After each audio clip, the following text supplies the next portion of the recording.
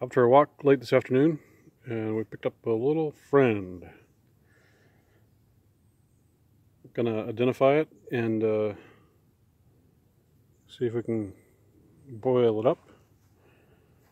We did one of these a few days ago, and didn't taste bad. I mean, boiled it twice and then um, fried it in butter.